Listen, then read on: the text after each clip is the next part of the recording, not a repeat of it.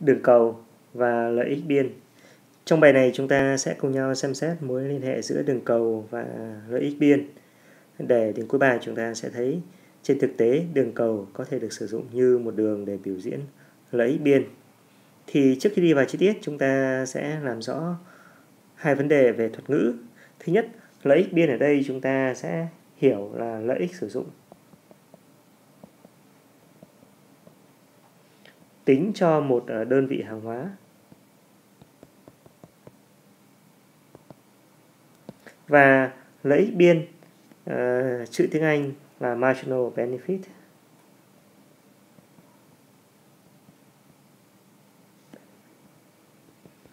Sở dĩ chúng ta phải ghi chú từ tiếng Anh ở đây bởi vì nhiều thuật ngữ kinh tế bằng tiếng Việt vẫn chưa được thống nhất và chưa hoàn thiện cho nên chúng ta ghi chú thuật ngữ bằng tiếng Anh để tránh nhầm lẫn. Thì bây giờ chúng ta cùng đi vào một à, nội dung chi tiết. Giả sử như một à, loại hàng hóa nào đó có đường cầu như trên đô thị này thì để biểu diễn đường cầu các bạn đã biết à, trục tung sẽ là giá và trục hoành sẽ là gì đây? Cầu và số lượng. Thì đường cầu thường là một đường đi xuống, giả sử như thế này. Thì giả thiết rằng thị trường đang hoạt động ở điểm mà có mức giá là gì đây? P0 và lượng cầu tương ứng là gì? Q0. Đây là điểm cân bằng mà thị trường đang hoạt động. Thì bây giờ, nếu như chúng ta lưu ý một chi tiết rất nhỏ thôi, là vì sao người mua hàng lại sẵn sàng trả tiền cho thứ hàng hóa mà họ muốn mua thì chúng ta sẽ thấy, sở dĩ người mua hàng trả tiền cho lại hàng hóa mà họ cần mua vì hàng hóa đó có lợi ích sử dụng.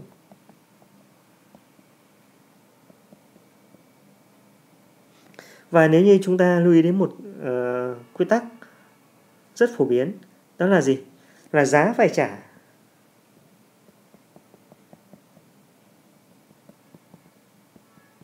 Thì bao giờ cũng phải bằng với lợi ích thu được.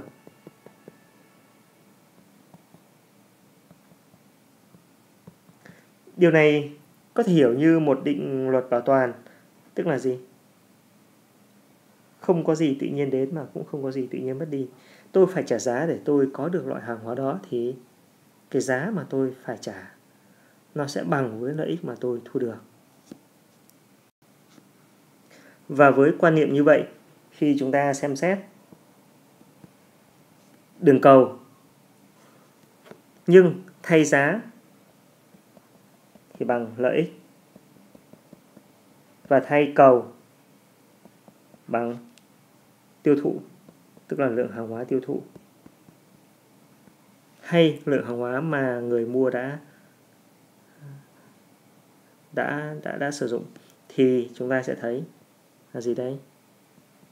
Là giá thì bằng với lợi ích. Khi đó lợi ích ký hiệu là MB và cầu khi đó là tiêu thụ. Bởi vì sao? Chính là lượng hàng mà người mua đã mang về để sử dụng. Thì trong trường hợp này chính bằng cầu do đó ta vẫn ký hiệu là quy thì ta sẽ thấy đường biểu diễn mối quan hệ giữa giá và tiêu thụ chính là đường, chính là đường cầu. Như ban đầu chúng ta đã khảo sát. Và chúng ta cũng thấy rằng, nếu như thị trường đang hoạt động ở mức giá là P0 với cầu là Q0. Hai, người mua trả giá là P0 và tiêu thụ một lượng hàng hóa là Q0 thì nhìn vào cái đồ thị này chúng ta sẽ thấy là gì đây? Là có những người sẵn sàng trả giá đắt hơn, tức là những người ở khu vực này. Những người ở khu vực này sẵn sàng trả giá đắt hơn mức P0 của thị trường để sở hữu loại hàng hóa này. Và vì thế chúng ta nói, ở mức tiêu thụ nhỏ hơn mức quy không thì lợi ích sử dụng là lớn. Và ở mức giá mà thấp hơn mức giá P0 thì hàng hóa có lợi ích sử dụng là gì? Là nhỏ. Đến đây có thể chúng ta sẽ thắc mắc là vì sao cùng với một loại hàng hóa mà khi thì lợi ích tiêu thụ lớn, khi thì lợi ích tiêu thụ lại nhỏ. Rõ ràng hàng hóa này cùng một đơn vị thì cùng có một công năng như nhau. Vậy mà tại sao trong trường hợp thứ nhất giá cao thì lợi ích lại lớn và giá thấp thì lợi ích lại nhỏ? Thì lý do rất đơn giản là gì? Là khi người tiêu dùng sẵn sàng trả giá cao để sở hữu hàng hóa này thì nhu cầu sử dụng của họ cấp bách hơn.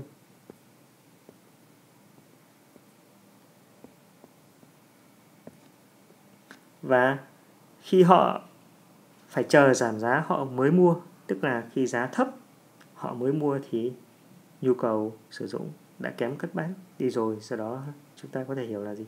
Trong trường hợp đó thì lợi ích sử dụng của hàng hóa đó là gì? Thấp hơn so với trường hợp người tiêu dùng sẵn sàng trả giá cao để mua. Và điều này cũng dẫn đến một điều hiển nhiên là gì đấy? Là lợi ích sử dụng sẽ giảm dần.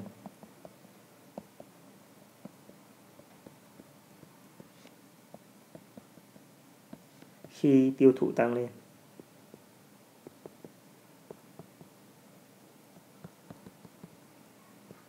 Và nếu như chúng ta nhìn vào đồ thị thì đây chính là gì đấy? Là mức giá giảm khi cầu tăng.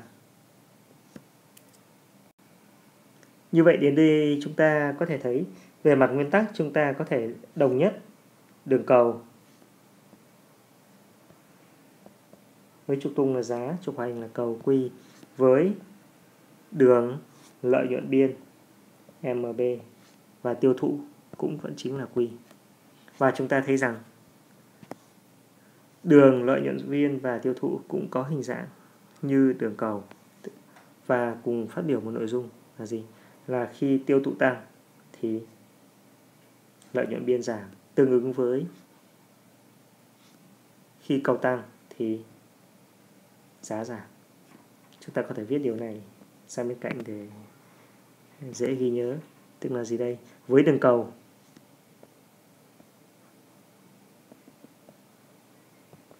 thì khi cầu tăng, ứng với trường hợp là giá giảm và với đường lợi nhuận biên thì tiêu thụ tăng, đồng nghĩa với lợi nhuận biên giảm. Từ đây trở về sau, chúng ta sẽ dùng đường cầu để phân tích lợi nhuận biên của việc tiêu thụ.